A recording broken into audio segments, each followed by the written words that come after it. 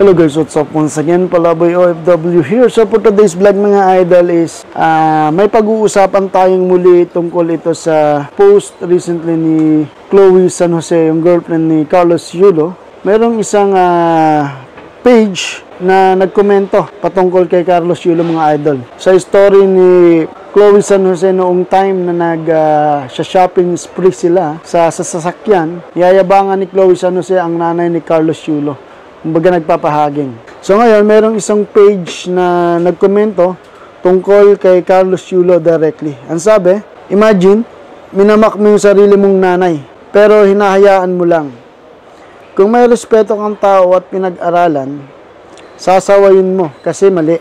Pero, ngumingiti ka pa habang yung pamilya mo, yung sarili mong kadugo ay winawasak or wasak. So ito yung komento ng isang ah, Facebook page directly to Carlos Yulo noong nag-post si Chloe San Jose nung nag-shopping sila.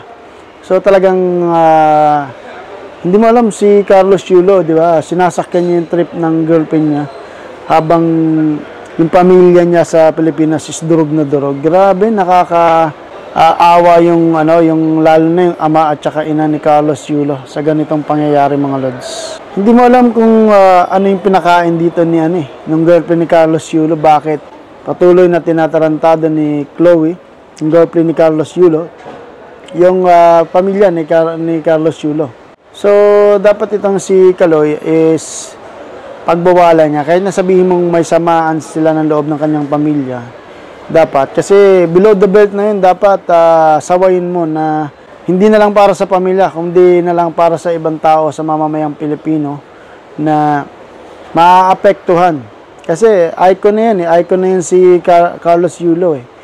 Kasi sumasalamin na yan sa Pilipinas eh. Kasi bawat galaw niya may nakabantay na. Kaya, syempre, nasa harap niya si Chloe San Jose habang ginagawa yon. So parang kasama na siya sa nambastos sa kanyang pamilya. Ayon sa nag-comment. Kasi minamak mo yung pamilya mo, kadugo mo, sarili mong kadugo, wasak na wasak doon. So yun lang ah, mga idol Palaboy OFW here with Pinoy Vloggers in Kuwait 2.0, Rapid Sam Steel and ah, Brian Pantanan mga idol.